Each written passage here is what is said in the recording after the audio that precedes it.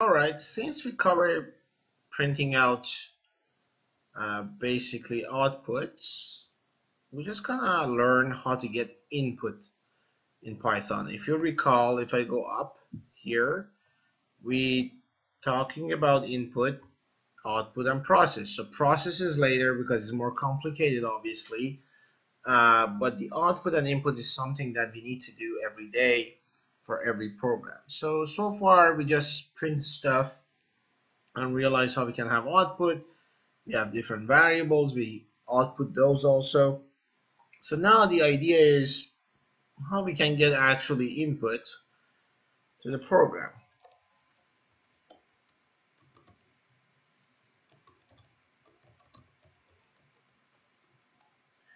All right, it's really simple. Basically, in Python, you just write input, and let me just comment that. So you write input, then basically you write your prompt. What is prompt? Prompt is the one, there's a message you show to the user prior getting your input. For example, um, I'm gonna set the variable a. Just gonna write a really simple program. I am going to basically, let's say I have uh, my program want to uh, get three variables and get the average or calculate the average and show the result. Okay, so basically if I want to get the input, I simply use a reserved word. You see it says input and prompt. Here I'm just going to show please enter the first number, let's say. Question mark. Um, so the point is, I'm gonna this is gonna ask the user for the number. When you get it, you're gonna store it somewhere. So we're gonna have this stored on number one. There is some tricks here you're gonna know. Um, in Python 3, basically when you say input, this input, okay, so in most of the programs, let me just write it that way. In most of the programs, program pro programming languages,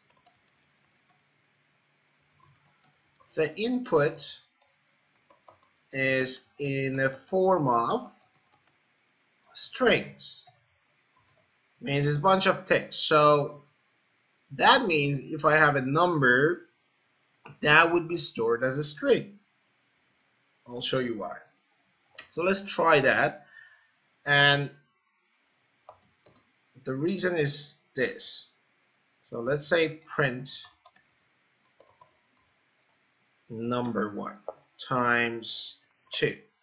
So that means if I get a number here from the user and store it in number one as a variable, then I'm gonna print that, but I'm just gonna multiply it by two.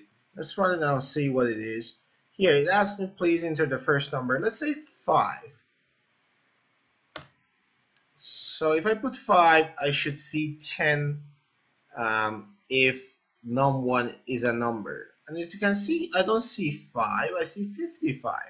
Because basically you double your string or input. So as far as this is not a number, we don't treat it as a number. You just double, uh, basically duplicate your string. So if you multiply that by 5, you're going to see 5, 5 basically.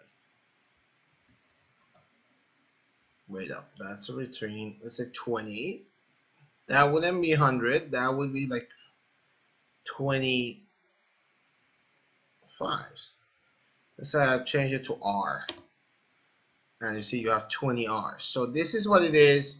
It's not mathematical approach because the input is not a number.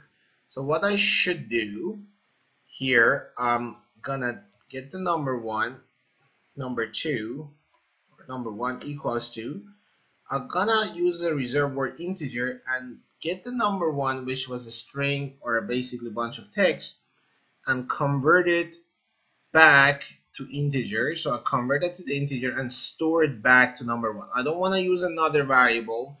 It's pointless because I get the number one, then convert number one to the integer and store it in number two. That would be pointless. We're just wasting memory here. So as a smart programming is, just gonna get rid of, rid of that. Sorry, let me get that. and do this. Also, I can basically get rid of this totally, so I'm going to comment it out.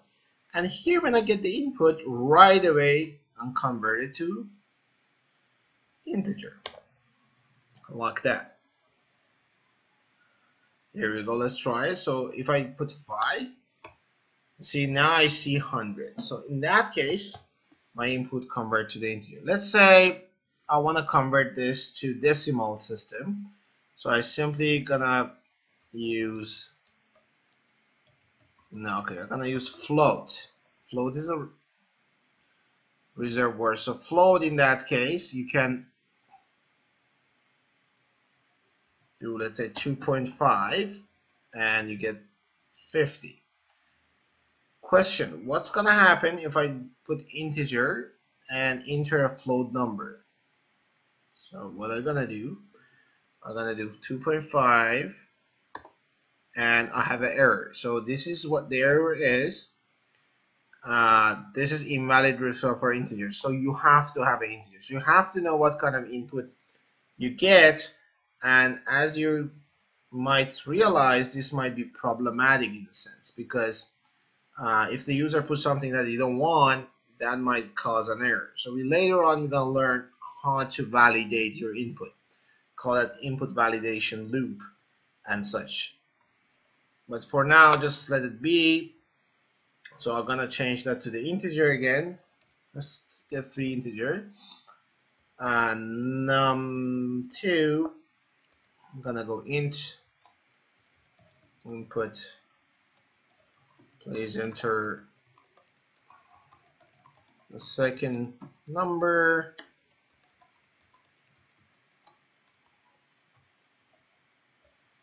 and I'm just gonna repeat that again. Number three.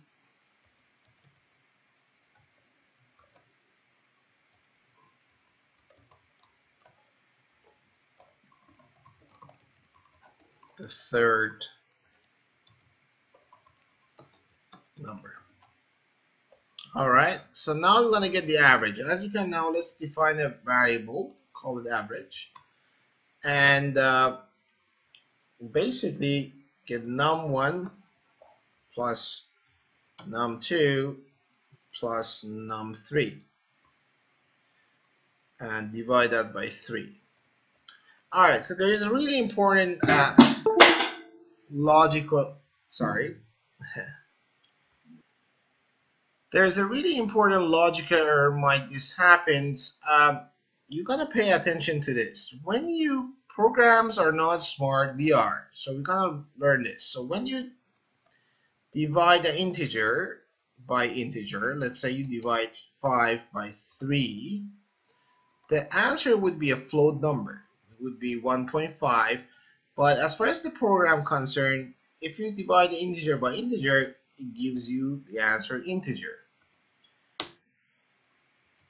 Only if, if you divide integer by float, or double number, let's say 5 divided by 3.5,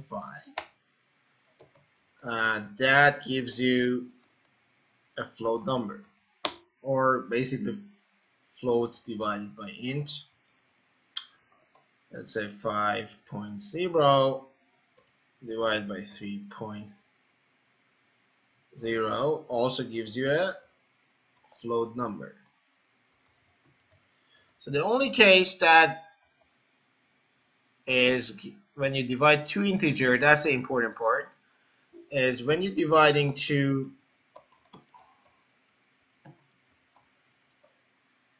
integer, you'll actually get integer. So in that case, uh, when you sum three integers and divide it by a number, you might, the answer might not be an integer. Let's say you have 1 plus 2 plus 2. That would be total of 5. 5 divided by 3 the answer should be 1.5. But according to the rule I told you here, uh, that's gonna show you 1. We don't want that. Um, so how, how we're gonna fix this is either we're gonna do this. So we divide this by a float number, which is follow this rule, or simply we're gonna convert the whole thing. Now that's the only way. We're gonna convert this guys here to float first then divide by 3 which is follow this rule here so either or you all set. The only important thing also you have to pay attention is um, arithmetics basically has orders. So plus okay multiplication let's do a star for it. Multiplication division has priority over summation which is plus and subtraction. So in this case the problem would be the division would be first so the number 3 would be divided by 3 then it's gonna be added with number 1 and number 2 so I'll make an example here let's say I have 1 2 and 3 as an input of my program and I divide that by 3. So in that case, since the division has the priority, this division will happen and instead of 3 over 3 would be 1, then the whole thing become 4, which is wrong. The answer we expect is basically you're going to add these 3 first, then divide by 3. Uh, that being said, over all those four parentheses has priority and also modulation by the way so those are have priority first then is multiplication and division then plus and negative um, subtraction basically um, is multiplication and division has priority over each other? No, not really. Uh, the trick is if you don't know what is what, as far as you follow this, always start from the left to right. That's how program works. Uh, so in this case, I'm just gonna be careful. I'm gonna put the parentheses here. Before I just move forward, I'm just gonna get rid of it and show you what I meant practically.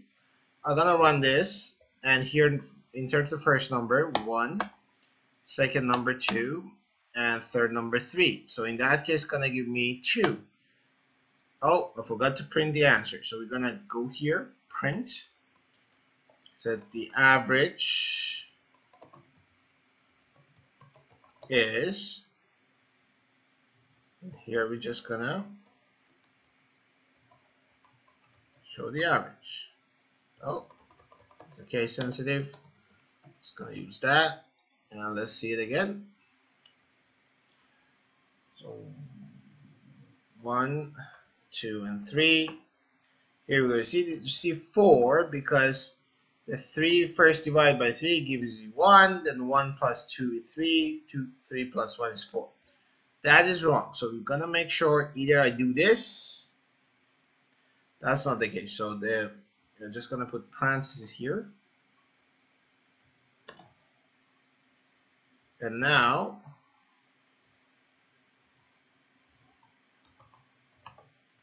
now I have 2. So it makes sense. 3 plus 2, 5, plus 1, 6, 6 divided by 3, 2. Um, let's try something that give me 5 that find another logic error here. So you're going to go 1, 2, and 2 and here we go so you have 5 divided by 3 it's 1.6 yeah